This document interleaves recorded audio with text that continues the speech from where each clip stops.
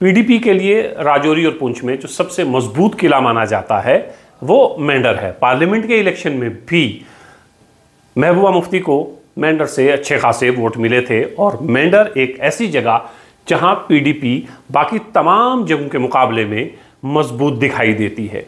PDP की ticket का ऐलान चंद दिन पहले हुआ। उससे उससे पहले उम्मीद ये थी कि नदीम खान को पीडीपी अपना मैंडेट देगी और मेंढर से वो इलेक्शन लड़ेंगे, लेकिन ऐसा नहीं होता है। पीडीपी की टिकट एडवोकेट मारूफ खान को मिलती है, जो इससे पहले भी पीडीपी की टिकट पर मेंढर से इलेक्शन लड़ चुके हैं।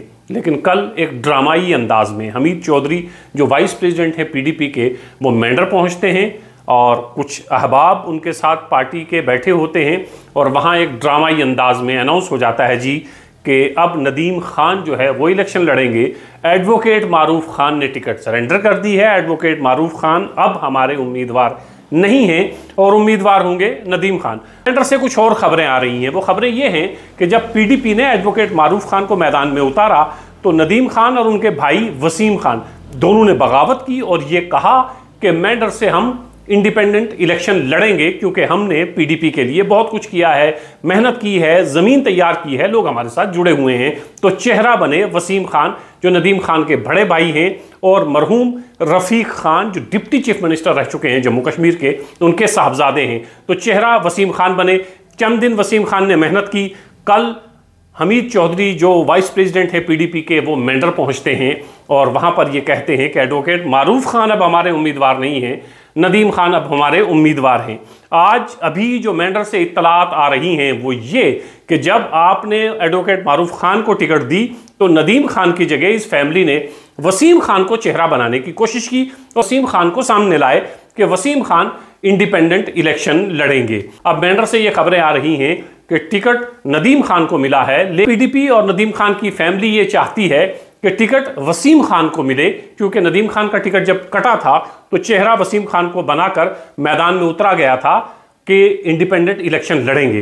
अब जब नदीम खान की टिकट पीडीपी की हो चुकी तो अब मेंढर के लोग या मेंढर की पीडीपी की इकाई ये चाहती है, या खुद नदीम खान और वसीम खान की फैमिली ये चाहती है टिकट टिकट नदीम खान को नहीं, बल्कि बड़े भाई वसीम खान को दिया जाए। बाबसूख जराए ये बताते हैं कि ये इतला हमीद चौधरी, जो वाइस प्रेसिडेंट उन तक पहुँचा दी गई है।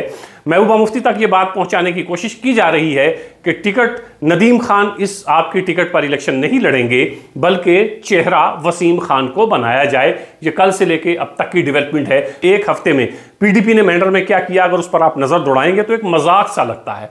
ऐसा लगता है कि दो बच्चों को बनाने की कोशिश हो रही है। कभी एक रूट रहा है, कभी दूसरा रूट रूट जाता है। और पार्टी आला क़्यादत भी मज़ाक बनकर रह गई है कि करती क्या है? टिकट का ऐलान एक दिन पहले करती है किसी और के लिए और अगले दो तीन दिन के बाद फिर आते हैं, कहते हैं, नहीं जी, ये हमारा कैंडिडेट नहीं है, अब ये हमारा कैंडिडेट है। अब जो खबरें मेंडर से आ रही हैं कि जिसकी टिकट का ऐलान कल हमीद चौधरी कर चुके हैं, अब वो इलेक्शन नहीं लड़ना चाहते, बल्कि वो ये चाहते हैं कि मेरे बड़े भाई वसीम खान को टिकट मिले और वो पीडीपी के टिकट के ऊपर मेंडर से इलेक्शन लड़े।